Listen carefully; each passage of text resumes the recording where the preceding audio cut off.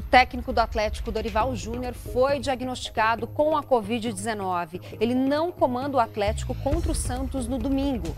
O treinador tem 58 anos, está assintomático e já está em isolamento. O rubro-negro defende a liderança do Campeonato Brasileiro contra o Santos às 15 para as 8 de domingo na Vila Belmiro. Também pela Série A, o Curitiba joga amanhã aqui na capital contra o Flamengo às sete e meia da noite. Nem o Coxa nem o Flamengo marcaram pontos nas duas primeiras rodadas. Pela Série B, hoje às nove e meia tem Paraná Clube Juventude na Vila Capanema. América Mineiro e Operário de Ponta Grossa estão jogando agora. E o placar está em 1 a 0.